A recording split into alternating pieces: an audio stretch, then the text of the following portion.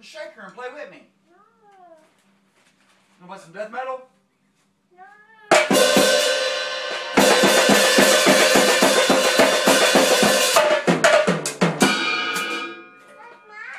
It's yours.